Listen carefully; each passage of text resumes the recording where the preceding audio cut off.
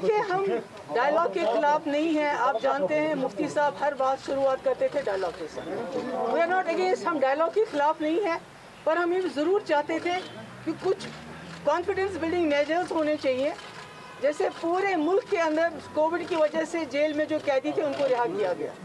जम्मू कश्मीर के हवाले से भी ये होना चाहिए था, जो हमारे सियासी कैदी हैं या दूसरे जजनीस हैं, उनको रिहा किया जाना चाहिए था, अगर वो वाकई चाहते थे कि वो जम्मू कश्मीर के लोगों को को रीच आउट करना चाहते हैं, हम लोगों को रीच आउट करना चाहते हैं।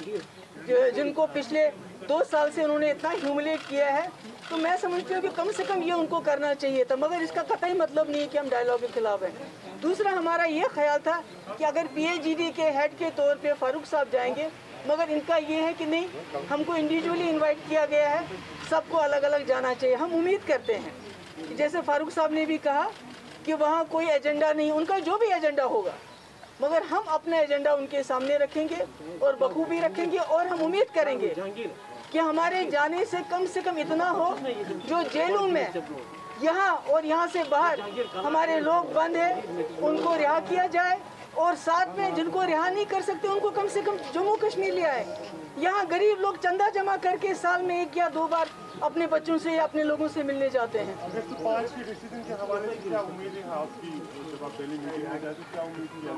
नहीं हम कर, कर, कोशिश करेंगे कम से कम जो कॉन्फिडेंस बिल्डिंग मेजर्स हैं जैसे कैदियों की रिहाई है हमारे लोग यहाँ मुसीबत में हैं जिनका बहुत नुकसान हो गया 2019 के बाद ट्रांसपोर्टर्स है टूरिस्ट व टूरिज़्म है।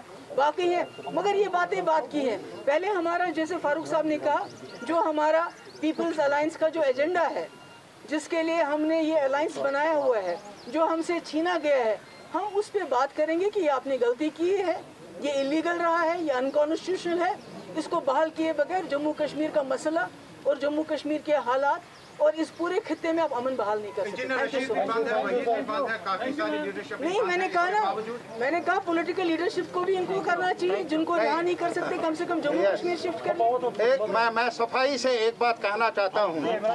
जहाँ तक कैदियों का सवाल है जैसा कि अभी आपने कहा इंजीनियर रशीद साहब हैं क्या और भी लीडर हैं? अभी शबीर साहब बेचारा बीमार है बहुत ज़्यादा बीमार है। और कई हमारे नौजवान जो हैं मुख्तलिफ़ जेलों में हैं। डॉक्टर साहब, हमारे पार्लियामेंट मेंबर मसूदी साहब, इन्होंने भी वकालत की है। पार्लियामेंट के अंदर भी लेकिन शुमाई नहीं हुई। आज हमें एक और मौका मिला है। सबसे पहले ये कि ये गलतफहमी ना हो कि उनका एजेंडा क्या होगा, हम वहाँ उस एजेंडे पर दस्तखत करने के लिए नहीं जा रहे हैं। हम जा रहे हैं प्राइम मिनिस्टर ऑफ़ इंडिया की तरफ़ से। कौन सी तजवीज़ है? अगर वो हमारे हक में होगी जम्मू कश्मीर और लद्दाख के हक में होगी हम हाँ करेंगे। अगर वो हक में नहीं होगी हम बरमला ना कर लेंगे। इसमें कोई गलत फहमी नहीं बात एक और बात लास्ट में मैं बताना चाह रहा हूँ।